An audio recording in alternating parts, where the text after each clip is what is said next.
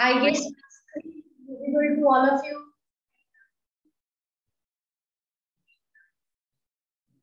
Is my screen visible to all of you? Yes, ma'am. Yes, ma'am.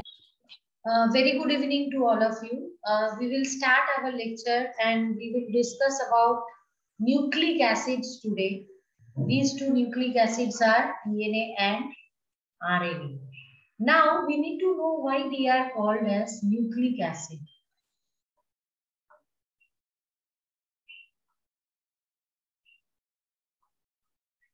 Actually, they are present in the nucleus or we can say that they are associated with the area called nucleoid in, in prokaryotes. That's why we call them uh, nucleic.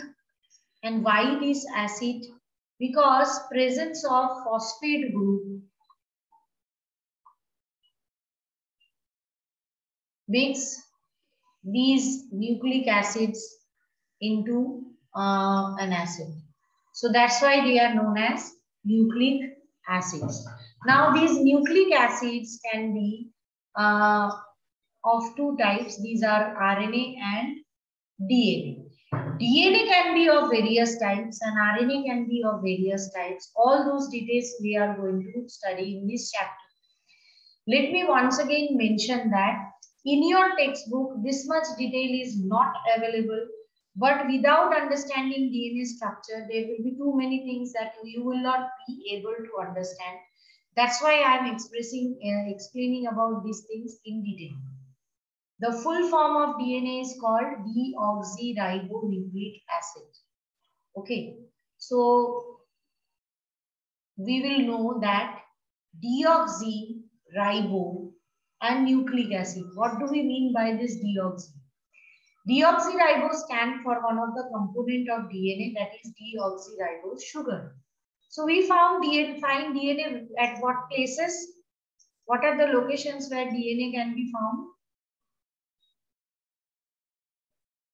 Class? Anyone? Ma'am, in nucleus. And in nuclear material. Okay. But apart from that, you must say that in mitochondria. Mitochondria Mitochondria. and chloroplast. Very good. So this is genetic material of most of the organisms. Apart from a few viruses, uh, it is genetic material for most of the organisms and it carries that information. So uh, actually, uh, it was not easy to see the structure of DNA. Uh, the scientist named Frederick Miescher first uh, like uh, identified that there must be some kind of acidic structure present in the, nucleus and he uh, named it as nuclein.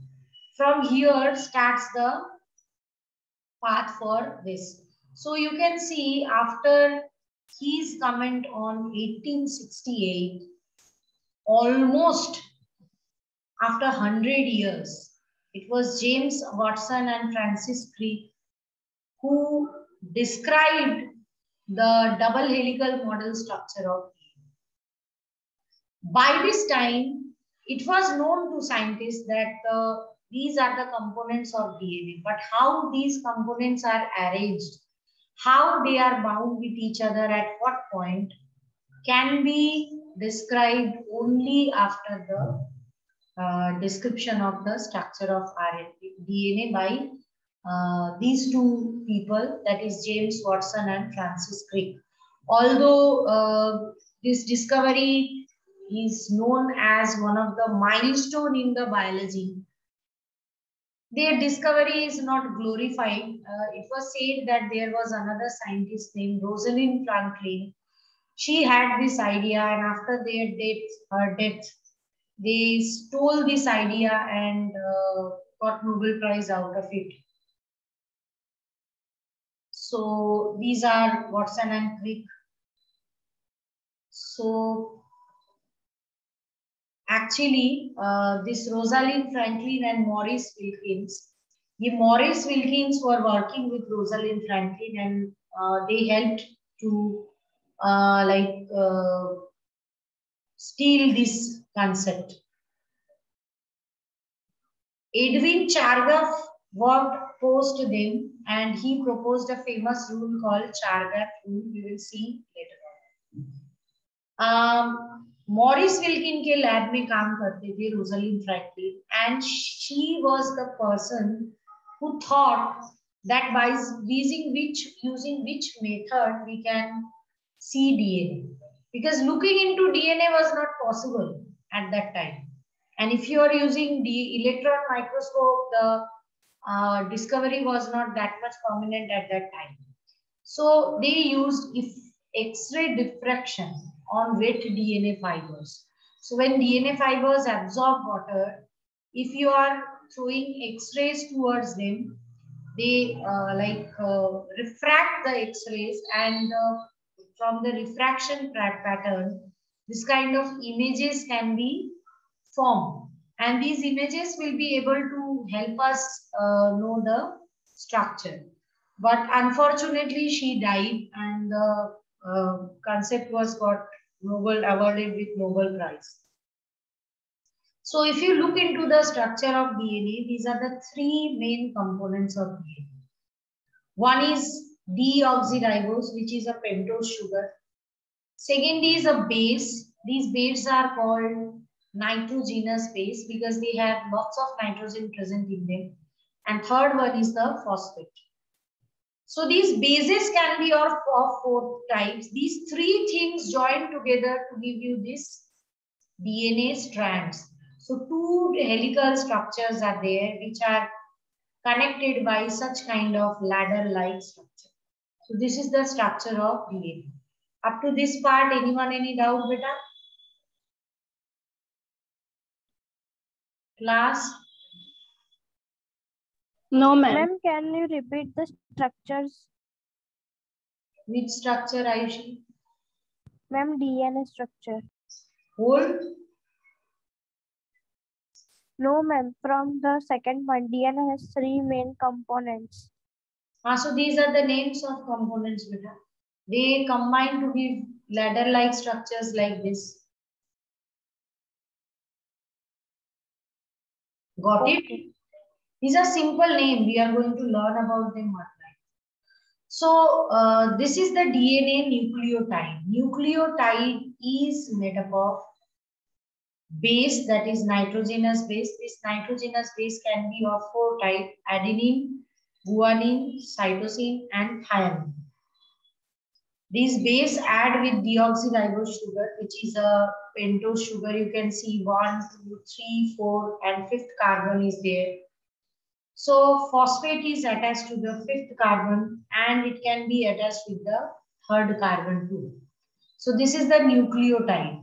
Nitrogenous base and deoxyribose sugar, when they connect, we call them nucleoside. The moment phosphate is added, we call it nucleotide.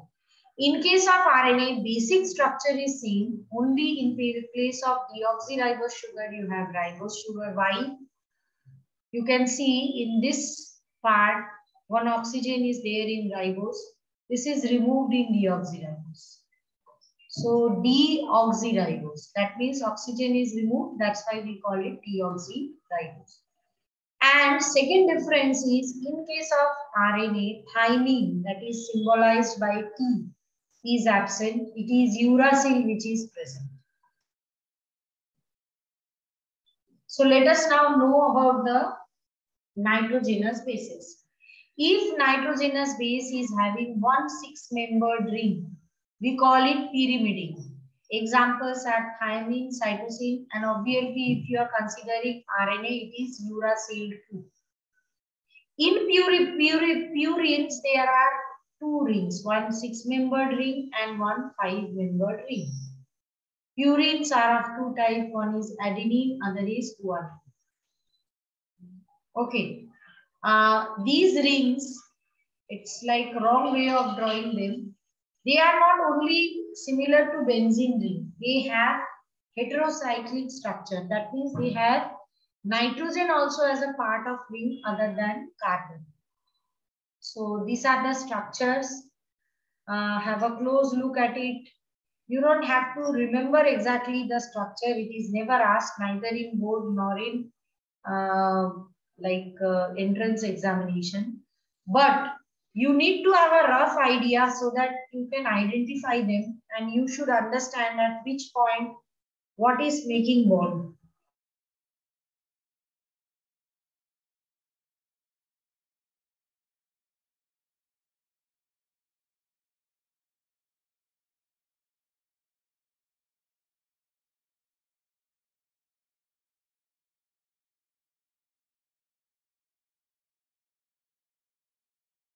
Any doubts regarding nitrogenous bases, beta?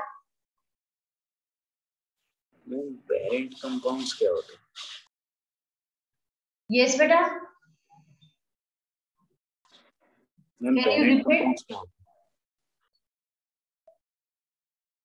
Uh, can you speak a bit loudly?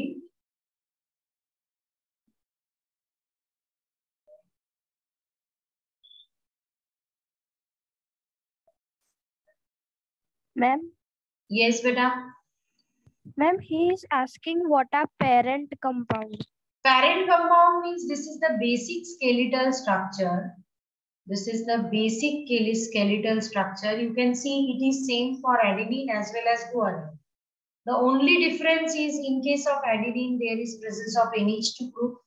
In guanine, it is presence of oxygen and NH2 group is present over here. And in adenine, there is addition of one nitrogen. So parent compound means it is same for everyone. Only alterations are highlighted over here. Same in case of pyrimidine, this is the basic structure. The difference is observed only to the points which are actually explained. Understood? yes ma'am. So, uh, this is the nucleotide structure. Uh, nitrogenous bases, ribose deoxyribose sugar and phosphate. Uh, I want you people to remember the bonds. See, if you consider deoxyribose sugar, the carbon number one is always bounding, uh, have creating the bond with the nitrogenous bases. Now, carbon number three and carbon number five is free to bind with the phosphate. Okay, so this is the structure of single nucleotide. But we know that DNA is a long strand. It's not that simple that single nucleotide is there. Many such nucleotides should bind with each other to give you a DNA structure. This part describes what I already told that nucleoside means base plus sugar and nucleotide means when phosphate is added to nucleoside, we call it nucleotide. Okay. Now,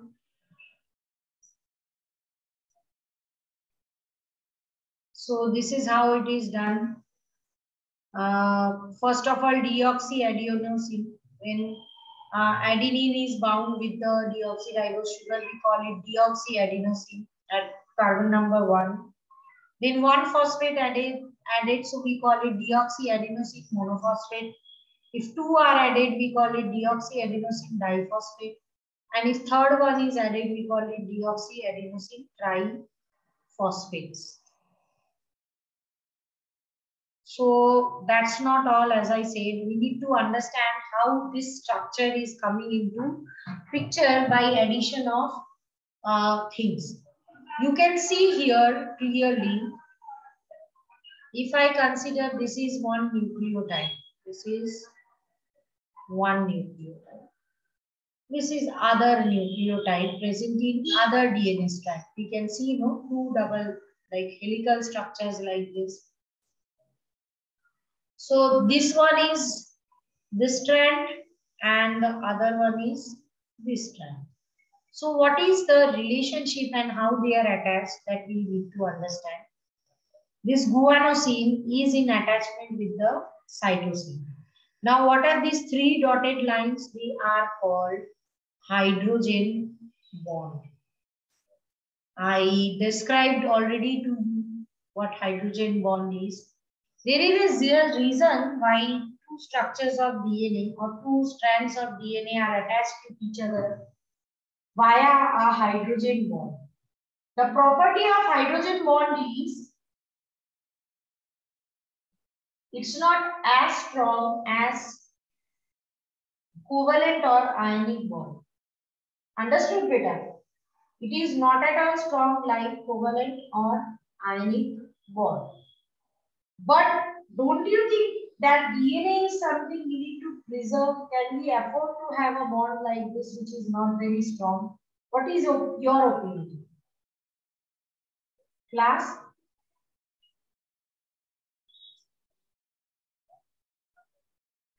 आपको ma'am लगता है please repeat the question बीच में hydrogen bond होनी चाहिए या ज्यादा strong bond होनी चाहिए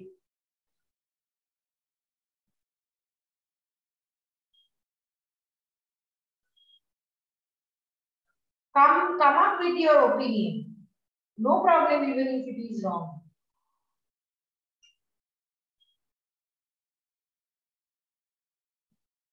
Class?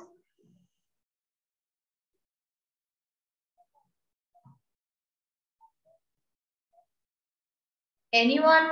Any guess?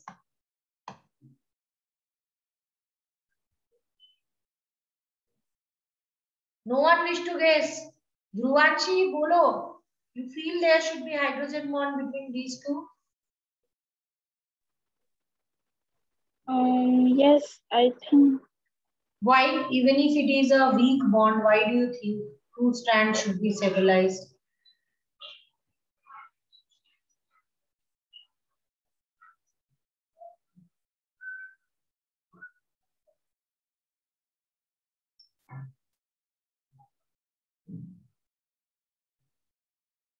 Bolo.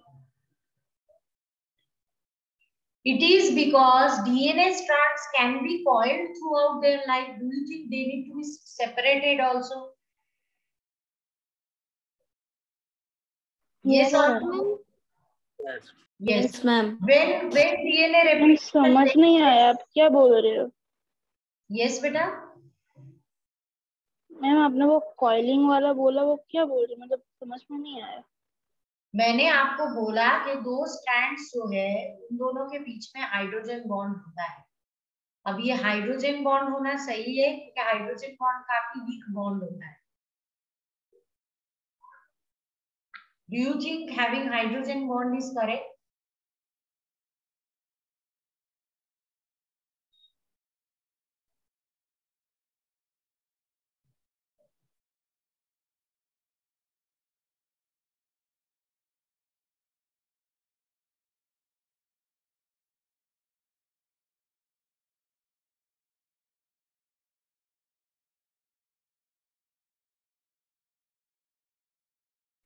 Yes, Ayushi, we, uh, what do you want to say, beta?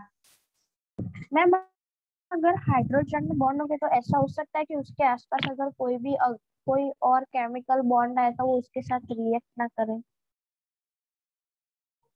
Uh, but why hydrogen bond? That's why my question is.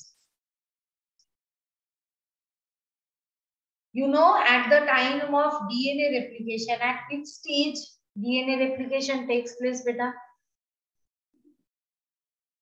When S phase. S phase. So at the time of the DNA replication, if you are copying DNA, these two DNA strands need to be get separated from each other, no? And during protein synthesis also, when DNA is instructing uh, ribosome via messenger RNA, it need to be separated. If this bond is too strong, then it will be difficult for cell to separate it very various times, isn't it? Yes That is Yes, why ये बोलते हैं ना साथ ही हाथ बढ़ाना का concept वो लिया इन्होंने।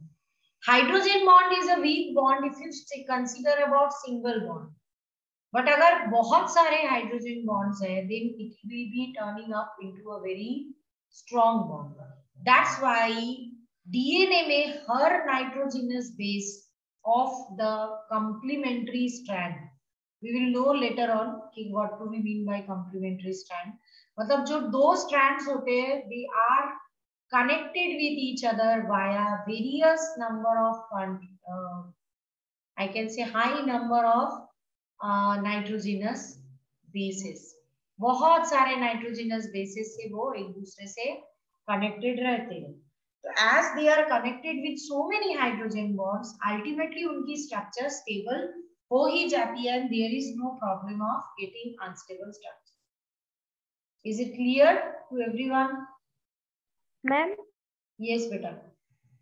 तो मैम अगर इस कॉन्सेप्ट में हम ऐसा कह सकते हैं कि हिस्टोन बोन्स इसलिए प्रेजेंट होते हैं क्योंकि हाइड्रोजन बॉन्ड्स वीक होते हैं।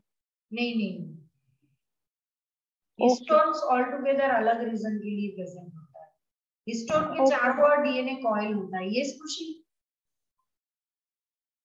मैम ये जो यहाँ पे डायग्राम है उसके ऊपर और नीचे थ्री और फाइव लगे मैम उसका मतलब क्या होगा I am coming to it. I am coming to it. It's yet not over. Okay ma'am Now I wish to share uh, like more elaborate structure of this, जिसमें आपको ये बहुत अच्छे से you will be able to understand. See, this is the structure of DNA. You can see this is one strand, this is other strand, and uh, this part is the nucleotide of one strand. This part is the nucleotide of other strand. Now, uh, Kushi asked me a question कि ma'am ये three prime और five prime क्या होता है? Consider करो अब, अब पहले ये समझ लो कि इज़ इट क्लियर कि दो स्ट्रैंड्स एक दूसरे से कैसे कनेक्टेड रहते हैं? Is that part clear with you adenine Yes, will always pair with thymine. This is called rule of complementary. Adenine जो कि प्यूरिन है वो हमेशा थायमिन के साथ बाइंड करेगा और उन दोनों के बीच में दो हाइड्रोजन बॉन्डिंग होंगे you can see one hydrogen bonding second hydrogen and guanine will always pair with cytosine and they will have three hydrogen bonds in between मतलब अगर आपको एक स्ट्रैंड की सीक्वेंस पता है that it is G A C T T C तो you can predict the sequence of second strand who is going to say say what will be the sequence of the second strand class Ma'am, please repeat your question. I want to ask which will be the sequence of the second strand, the complementary strand of DNA. If we are following this rule of C, T G T then A A A A A A G. A G G. so is this part clear to everyone? Have a look and confirm. yes ma'am Yes. ma'am. yes ma'am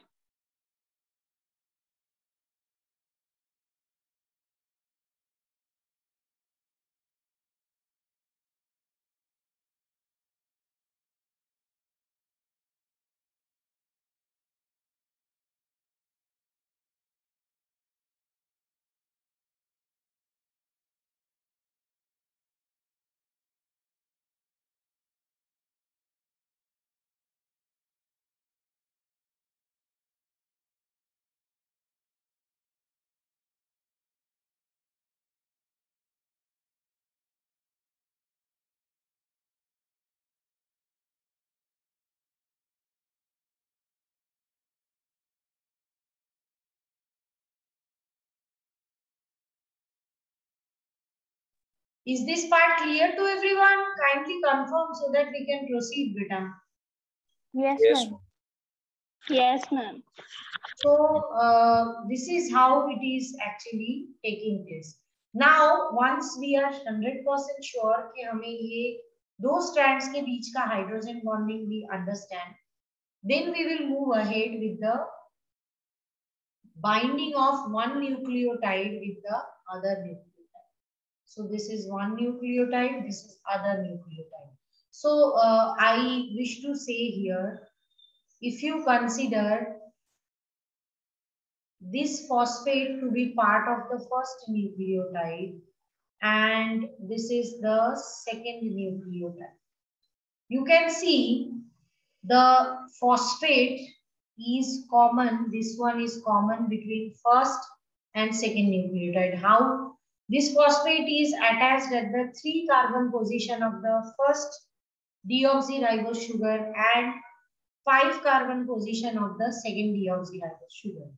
This is how the nucleotides will get attached. वैसे ही if I am considering this is as the nucleotide of the third one, third अपनी nucleotide है. This is first, second, third. See, this one is also attached with the three carbon of the second nucleo uh, deoxyribose sugar and the fifth carbon of the third deoxyribose sugar.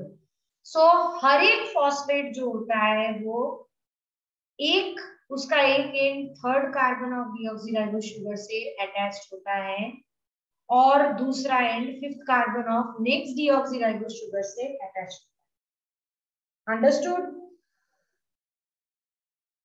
Is it clear? Yes, ma'am. Yes. Yes, ma'am.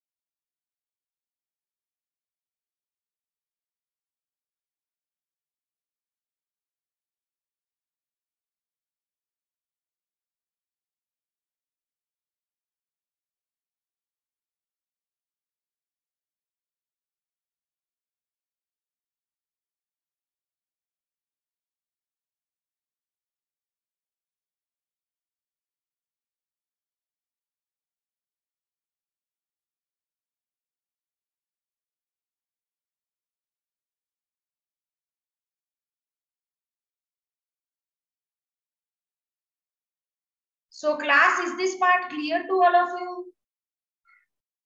Yes. yes ma'am So, Yes, ma'am. Now I am coming back to the question of 5 prime and 3 prime. Okay. So what is this 5 prime and 3 prime? See, the last nucleotide of this strand will have a free end, isn't it? Does this phosphate have anyone to bind with?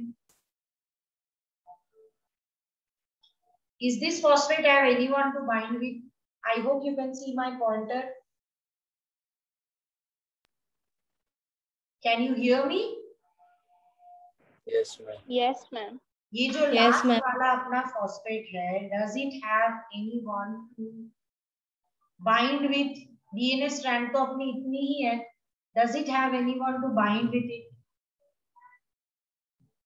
no ma'am. है ना ma'am.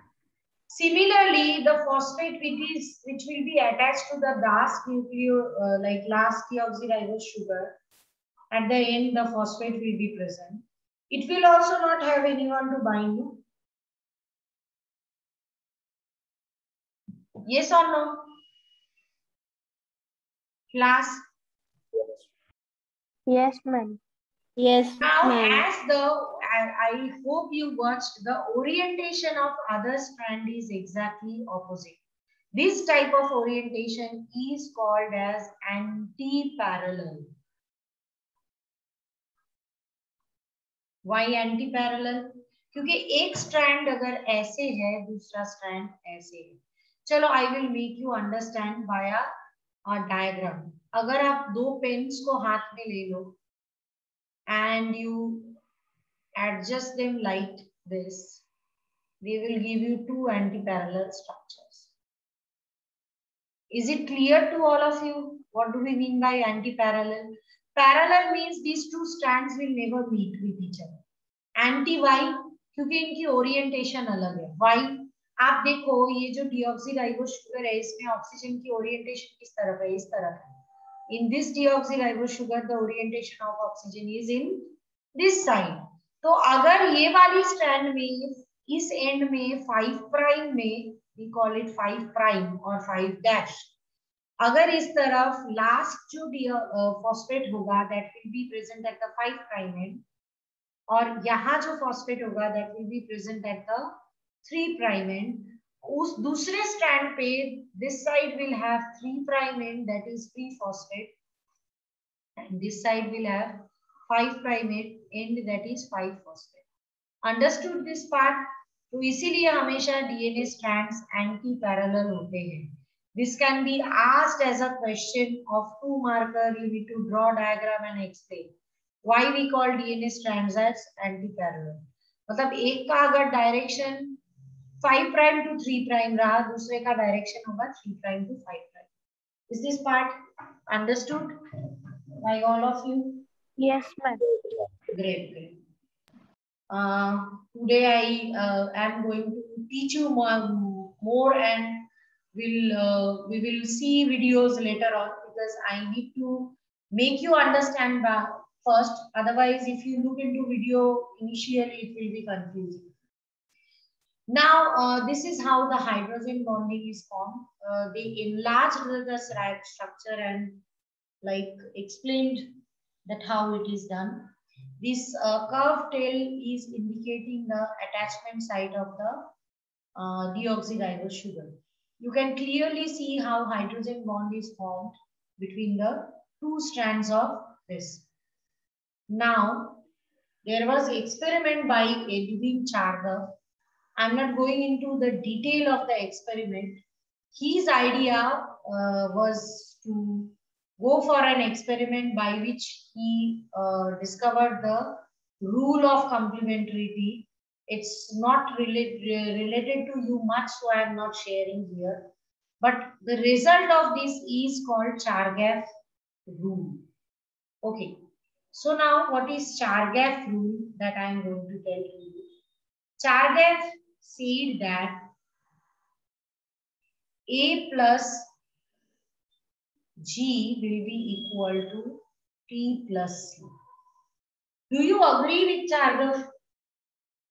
In a DNA double helix, जितने A number में रहेंगे उतनी ही T रहेंगे and जितनी G रहेंगे उतनी C रहेंगे because that is the complementary rule, isn't it?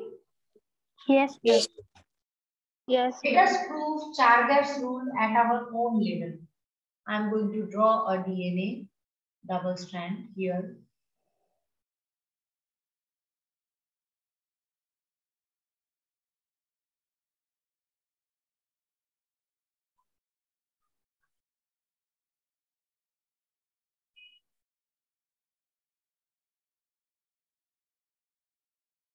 Okay, clear?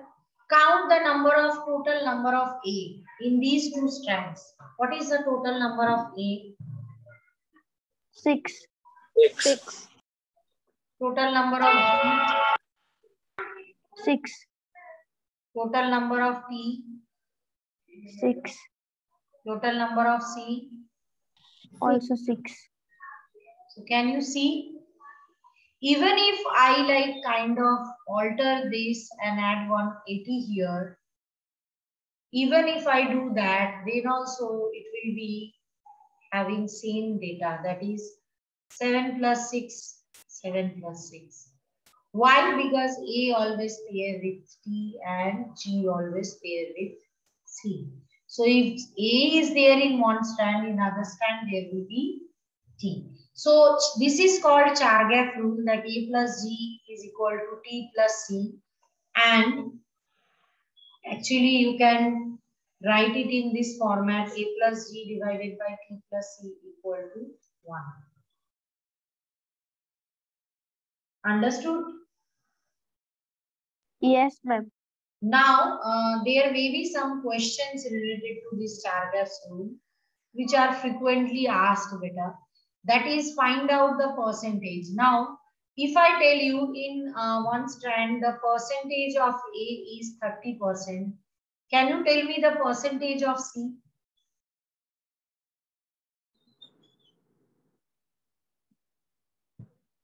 Seventy percent. Seventy percent. Think and tell. That means in that DNA strand only A and C will be there, no?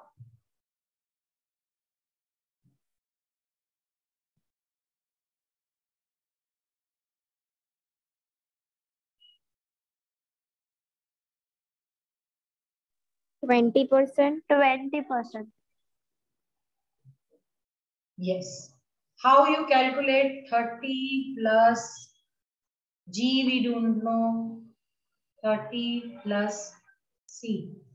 So it will be g plus c will be equal to 60 60 as we know that g is equal to c so we can say 2c is equal to 60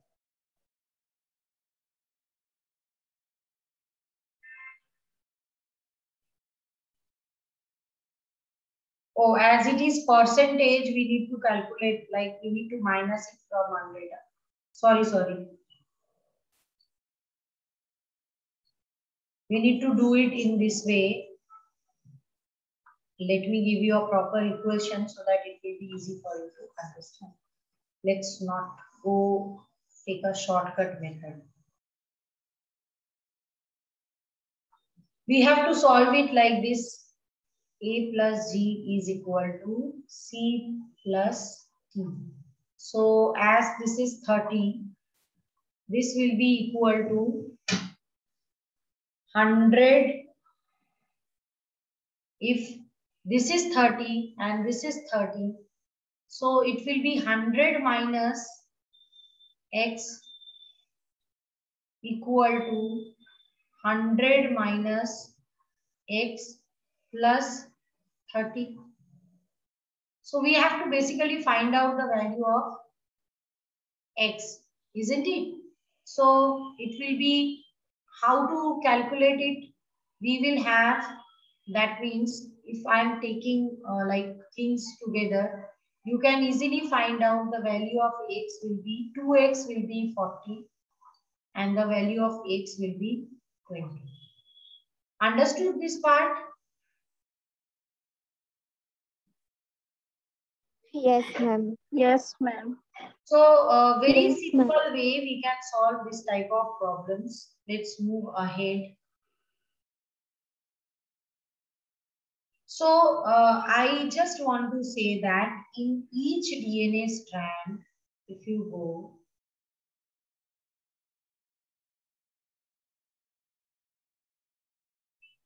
in each twist, that means one strand is starting like this and coming back to the same position, but at the top. In each twist of strand, there are 10 base pair and each base pair is occupying 3.4 nanometer structure. It is a right-handed fashion. That means the twisting is done like this. It is done in a clockwise manner. And uh, as each of them are having size of 0.34 nanometer, then the total length of a single turn is equal to 3.4 nanometer. Is it clear? एक turn में 10 base pair रहते कितने यहाँ से लेके ये point तक we will call it one turn we will call it one turn एक टांग में दस बेस पेयर रहते हैं। अगर सिंगल बेस पेयर की साइज़ 0.34 होता है तो पूरी टर्न की साइज़ कितनी होगी? 0.3 point three multiplied by ten that is three point four nanometer do you agree with me yes ma'am this is how the DNA strand is located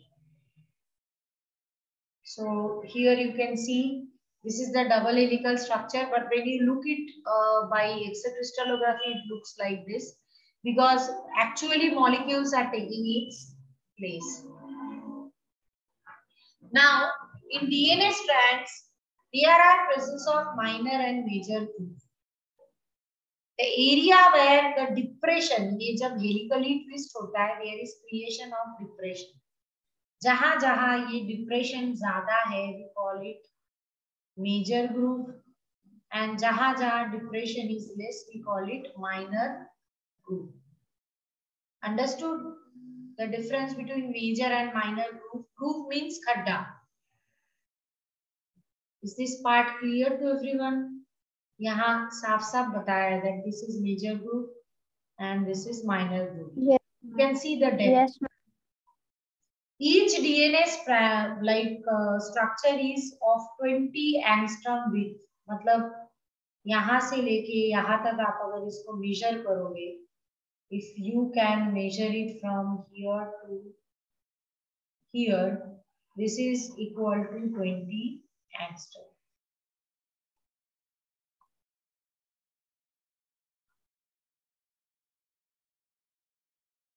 But let me tell you that is, that is not all.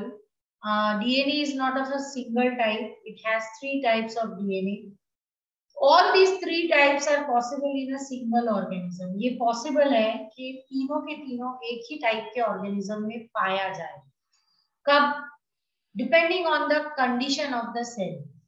If the cell is having less amount of water or more amount of water or high salt concentration that is high pH, one form of DNA can change into other form of DNA.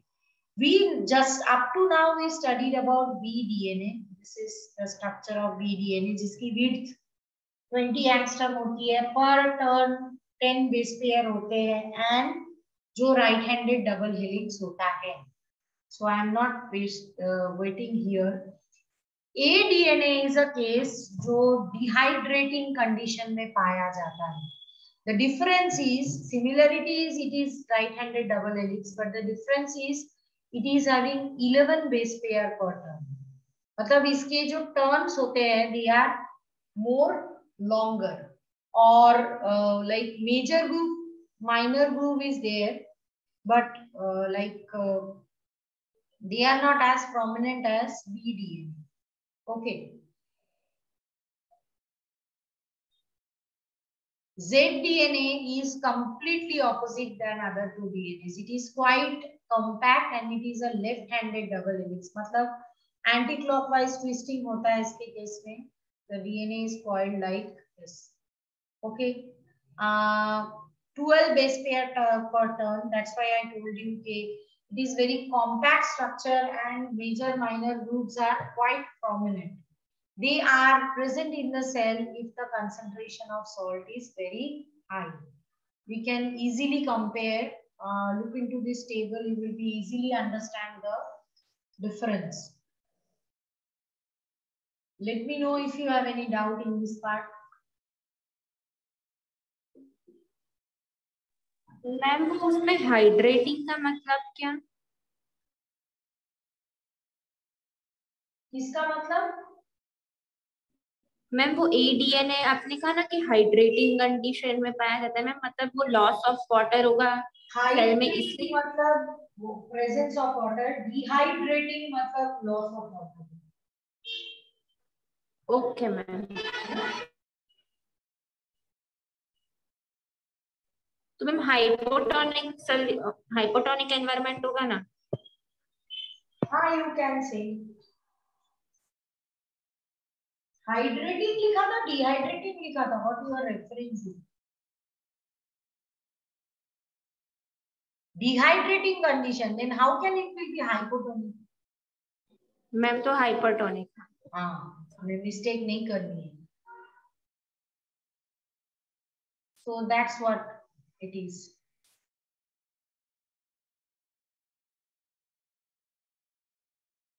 uh, we will uh, not go into detail of this. Actually, you are going to study about it uh, in your grade 12. But just to show you the picture that how DNA is coiled around histone proteins and it is further coiled and coiled to form the chromosomal structure. Just for a reference, we will talk about this solenoid model or nucleosome structure in grade 12.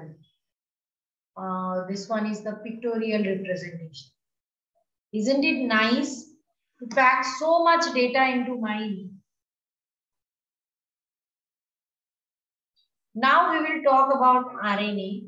So uh, RNA is something which is not genetic material generally. It is helping us in synthesis of protein. But in some virus, it can be the uh, like uh, genetic material. And it was thought that जब evolution हुआ होगा, first organism जो create हुआ होगा, उसकी genetic material RNA रही होगी. Because RNA can have catalytic structure, मतलब एक ऐसा RNA जिसको किसी की हेल्प नहीं चाहिए it can go for its own process it can go for its own replication that's why ये सोचा जाता है कि इवोल्यूशन में पहले आरएनए आया होगा। स्ट्रक्चर में तो बहुत ज़्यादा बोलना नहीं है। Difference I already said in RNA it is ribose sugar in case of nitrogenous bases thymine is not there uracil is there and RNA is generally single stranded it's not double stranded but in some virus you can find out double stranded RNA also so this is the structure yes बेटा ma'am please show previous slide Yes. Okay, ma'am. Thank you. If you wish, no, I can share this slide to uh, San, uh, uh, Vishwajit sir um, he can share in your group. You can read from there, no problem.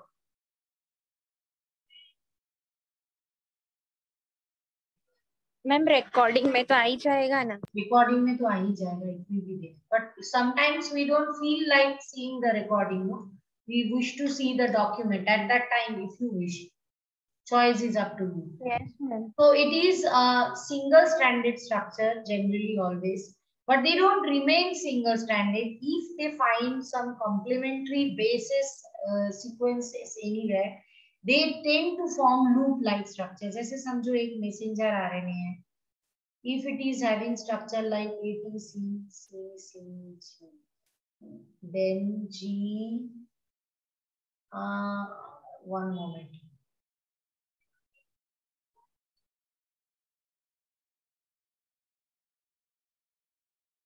Then it will have G, A, U. So what will have this part and this part as they are complementary. This messenger RNA will bind like this. It will have a loop-like structure. So if you see a long structure of RNA, it's quite natural sometimes it can uh, bend to create loop-like structures. Uh, depending on the presence of complementary bases. Otherwise, the uh, like uh, other things are same. The uh, ribose sugar is attaching the nitrogenous base at the first carbon only. And 3 and 5 carbon is responsible for attachment of phosphate. Okay. In these case also at the end of, there will be one free phosphate group considered. It is at 5 prime. It is at 3 prime. But there is no question of being anti-parallel. Dusri strand hai hi nahi. That's why it is never anti-parallel. Any question related to RNA? I am moving ahead.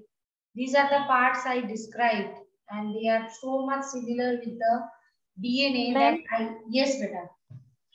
Ma'am यहाँ पे जो तीन phosphate groups attached हैं ma'am वो easily join हो जाते होंगे ma'am क्योंकि एटीपी में तो इजी नहीं था ना uh, it was not easy. They require, that's why DNA replication require uh, uh, ATP as well as formation of nucleotide was also require some kind of तो मैम यहाँ पे easily होगा कि थोड़ा डिफिकल्टी आए? It's not never easy okay ma'am but the ये nucleotides बनते हैं। They are there they are actually there so uh, this is how the bond is there. I hope the bond is clear. ये बहुत पूछा जाता है? I don't want you to people to ever get confused कि कौन किसके साथ binding कर रहा है is it clear And this bond, bond of phosphorus with the ribose or deoxyribose sugar is called phosphodiester linkage.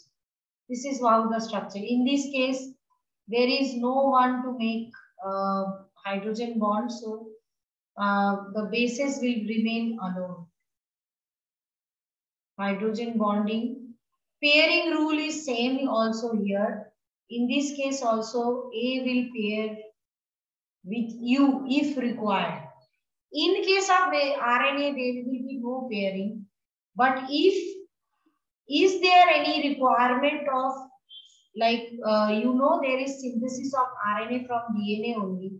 At that time, if there is presence of A in the DNA, in RNA, it will be uh, U. That is what the complementary rule follows. But in RNA, as it is uh, like uh, single stranded, there is no pairing other than the loops.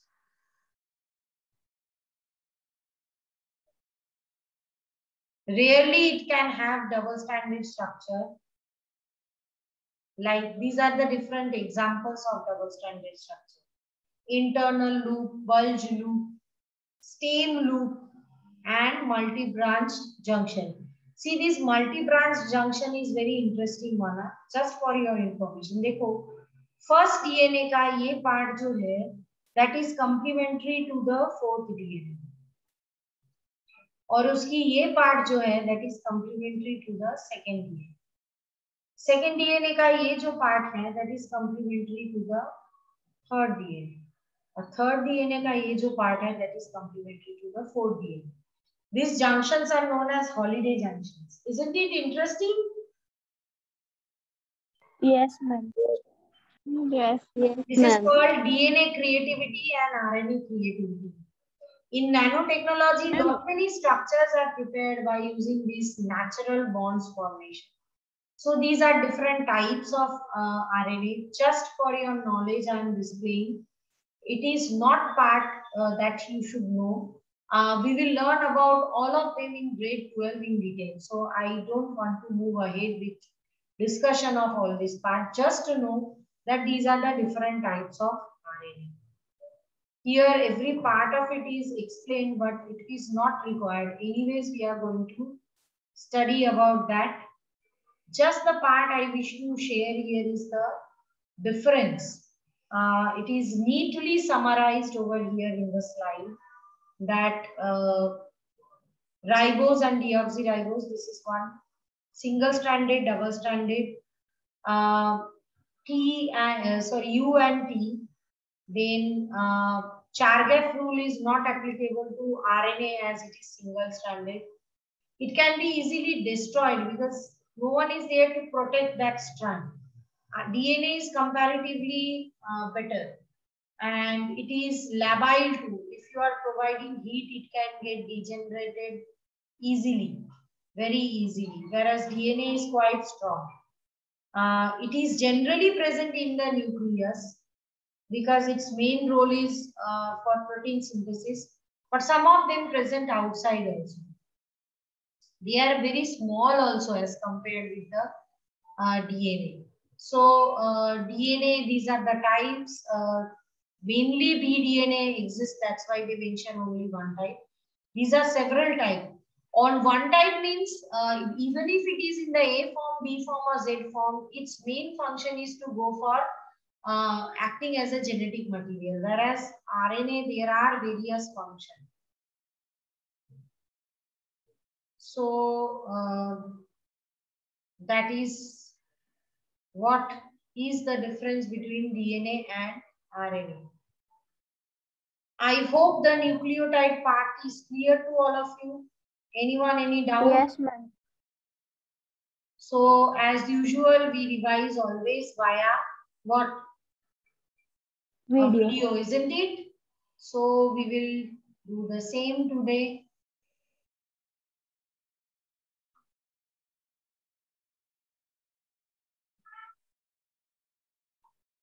Is the screen visible? I guess the screen is visible to all of you. So let me.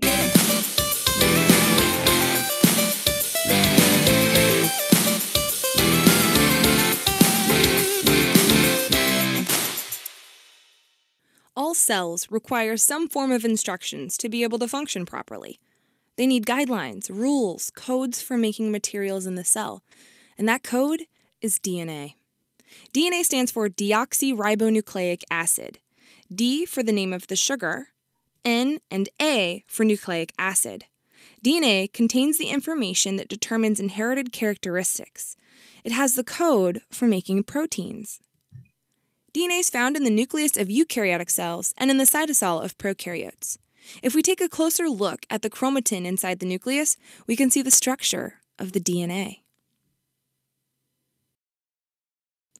The DNA has repeating subunits, and those subunits are called monomers, or nucleotides specifically. The nucleotide has three main parts a phosphate group, a sugar, and a nitrogen base. In DNA, the name of the sugar is deoxyribose, which is part of DNA's name, and there are four nitrogen bases in DNA. The bases are thymine, adenine, cytosine, and guanine. Two of the bases are purines, which have a two ring structure, and two bases are pyrimidines, which have a one ring structure. Adenine and guanine are purines. Cytosine and thymine are pyrimidines. I remember the pyrimidines are the bases with a Y in their name, just like pyrimidine has a Y in its name. A purine always pairs with a pyrimidine, and the slanted shape of the DNA molecule causes it to form a spiral or helix. Because DNA is double stranded, we use the phrase double helix to describe its structure. There are four scientists who are credited with discovering the shape of DNA, and they are Watson, Crick, Wilkins, and Franklin. All of them received a Nobel Prize for their work, except for Rosalind Franklin. She died before the prize was given. Each of these scientists played a role in piecing together the structure of DNA. They learned that along the sides of the molecule was a backbone made of alternating sugar and phosphate molecules. On the inside, like the rungs of a ladder, are the nitrogen bases. Adenine and thymine form hydrogen bonds together. Cytosine and guanine form hydrogen bonds together. To help me remember which bases link together, I think of writing the letters. A and T both use straight lines. C and G use curved lines. I also know that A and T have two hydrogen bonds, but C and G have three hydrogen bonds by saying AT2, CG3. Silly things like this are actually a great memory tool. Strands of DNA are said to be complementary to one another because A will always be with T and C will always be with G, based on the number of hydrogen bonds that they want to make. You can predict the complementary strand if you know the other strand. So let's use all of that knowledge about DNA and see if we can identify the parts of this blank DNA molecule. The easiest to label are the deoxyribose sugars and phosphates. They make up the outside of the molecule. Deoxyribose is a pentagon shape, and the phosphate is just a small molecule in between. Next, we need to remember a rhyme, AT2CG3. So the nucleotides with two hydrogen bonds must be A and T, and the ones with three are C and G. To tell which one is which, you need to know that pyrimidines have one ring and purines have two. So cytosine and thymine are the pyrimidines, so they're the one ringed bases. Adenine and guanine are the two ringed bases. And now you have a labeled DNA molecule. Thanks for watching this episode of Teacher's Pet. Don't forget to like and subscribe and follow me on Twitter at SciencePet. So, uh, is there any doubt? Again, I am asking after looking into the video. No, ma'am. So with this, we are done with the chapter that is biomolecules. I wish to give you a overview of the whole chapter as like before wrapping up. Um, I think we can uh, have that, have a look at that uh, thing. Uh, by the meantime, if you have any doubts, you are free to ask me. We studied so many things in this chapter, like starting from uh, carbohydrates, proteins, and all. So just to make sure that every part is understood by everyone. Ma'am yes बेटा ma'am वो जो DNA में पढ़ा ना हमने anti parallel arrangement वो आप एक बार फिर से रिपीट करो ना orientation of deoxyribose sugar is different beta that's why if uh, in one pra- strand the uh, like uh, uh, in one in case of one strand if it is from 3 prime to 5 prime in other strand it is 5 prime to 3 prime that's why we call it anti-parallel. Okay ma'am understood?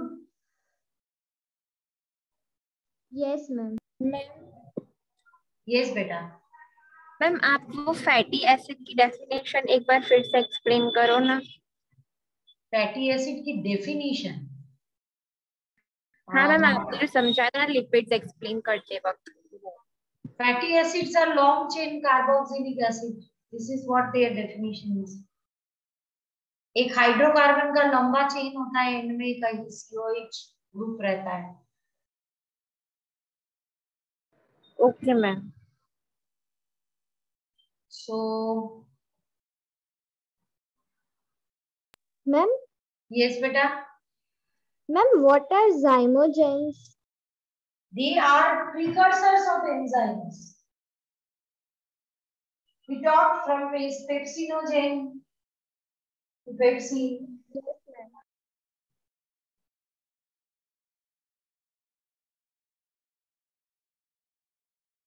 is it clear पर ma'am उनका function क्या होता है you i explained to you the difference or the function of pepsinogen and pepsin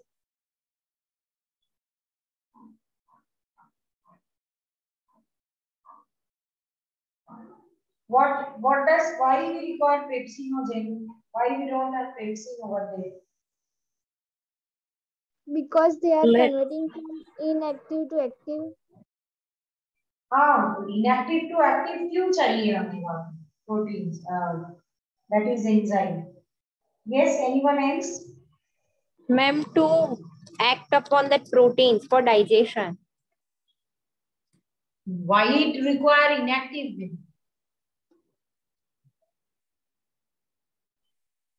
क्या ma'am उसकी inactive form क्यों चाहिए वहाँ पे मैम वाई सारे पेप्सिनोजिन तो मतलब अगर एक्टिव हो जाएँगे तो।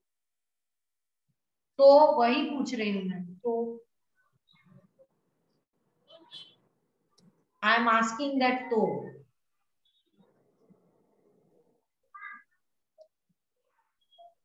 तो क्या होगा? I didn't make you understand this part हाँ मैम बताया था। क्या होगा? It will start digesting wall of stomach that is why it was there in the inactive form. I told this to you ma'am na? Ma'am ma'am और ये जो information होती है कैरेक्टर्स की फ्रॉम जनरेशन जो पास होती है इंफॉर्मेशन मैम वो एक्चुअली नाइट्रोजनस बेस पेयर्स में ही होती है ना? Ah, it is there in the uh, form of nitrogenous base. Okay.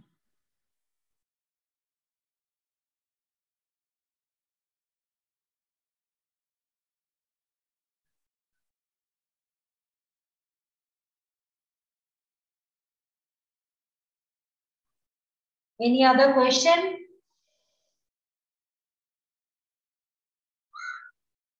Anyone? If not then No, let's have a revision video and let's conclude with this chapter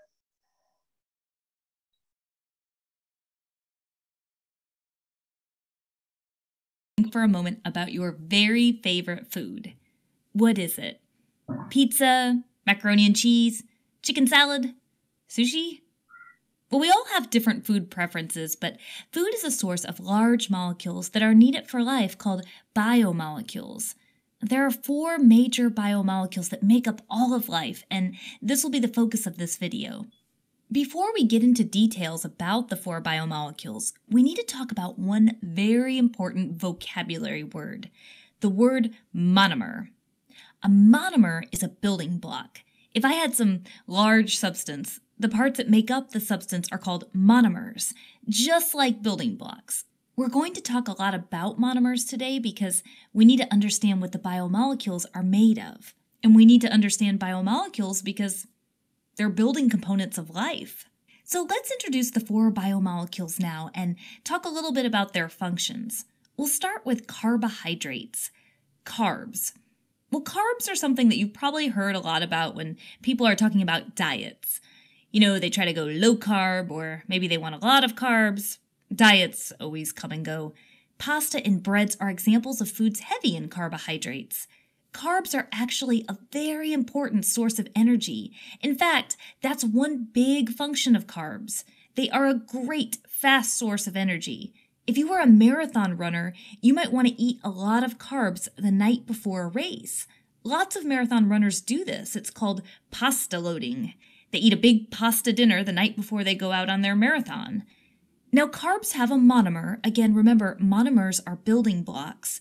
The monomer for a carb is a monosaccharide.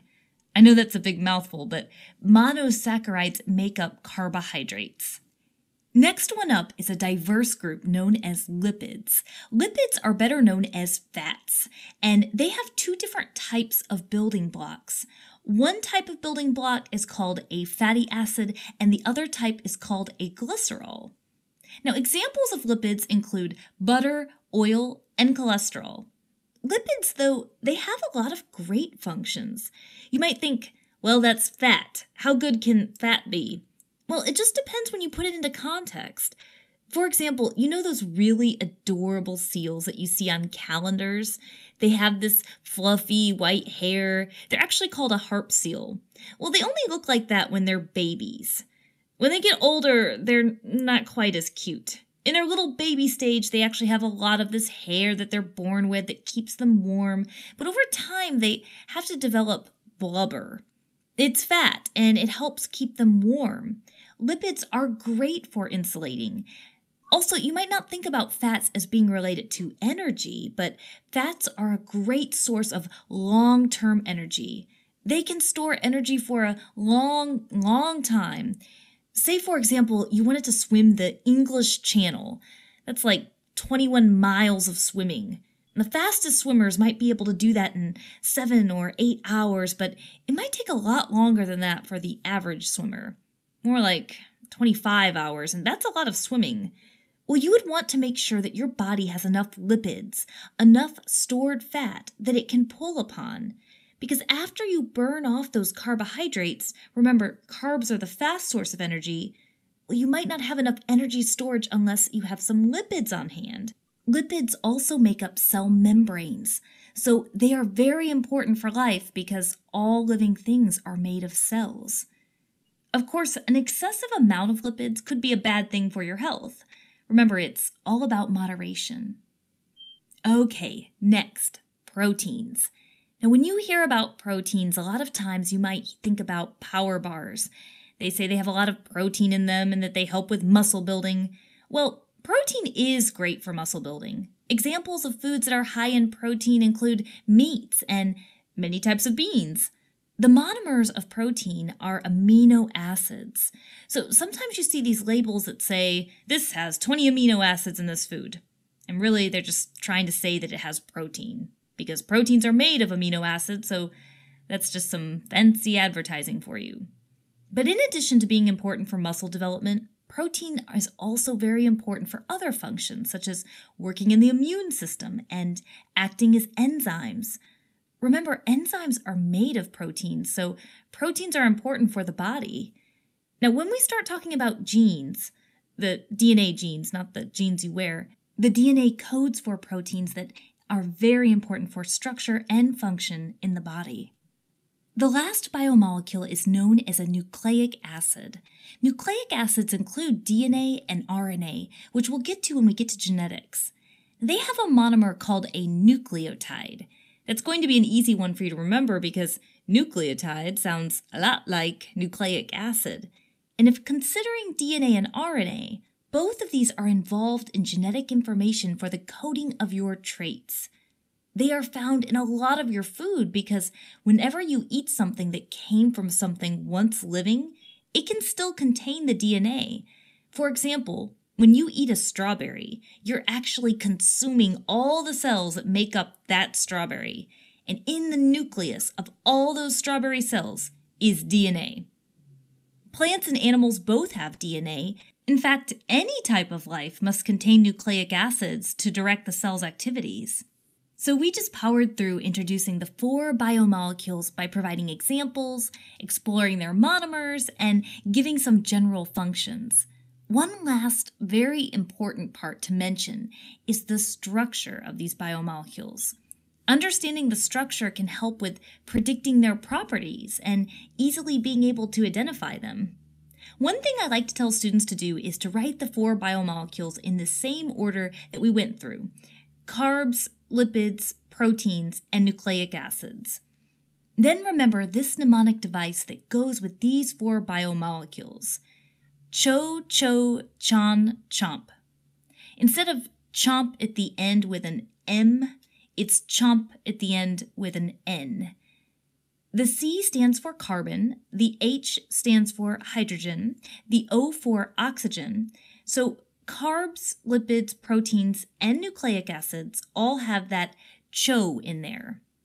It's just that proteins and nucleic acids also have an N, which is nitrogen. And nucleic acids additionally have a P, which is for phosphorus. So again, CHO, CHO, CHON, CHONP, the major elements in the four biomolecules. Now, these elements are arranged differently in the four biomolecules.